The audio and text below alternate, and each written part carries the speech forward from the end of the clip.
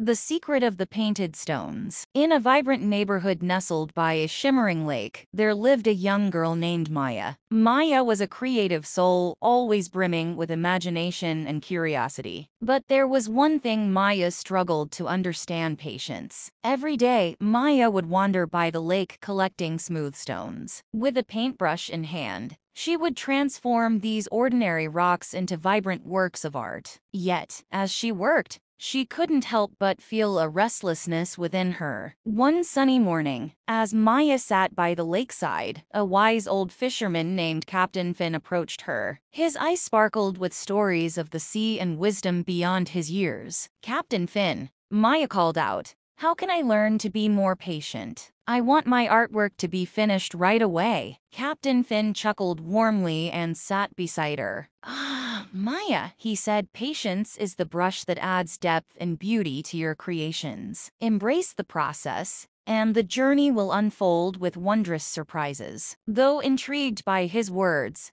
Maya still yearned for quick results. She sought guidance from an enthusiastic squirrel named Skipper, Known for his boundless energy, Skipper, Maya pleaded, how can I make my paintings faster? I want to see them complete and share them with the world. Skipper scurried up a tree, his tail twitching with excitement. Patience, my friend, he replied. The joy lies not only in the finished painting, but in the brushstrokes that bring it to life. Take your time, and the world will marvel at your artistry. Determined to find a shortcut, Maya embarked on a quest to uncover the secrets of patience. She stumbled upon a serene garden tended by a wise gardener named Ms. Blossom. Ms. Blossom, Maya pleaded, can you teach me how to be more patient? I want my paintings to be perfect right away. Ms. Blossom smiled, her hands covered in soil. Patience, dear Maya, she said, is the seed that nurtures growth and reveals the true beauty within.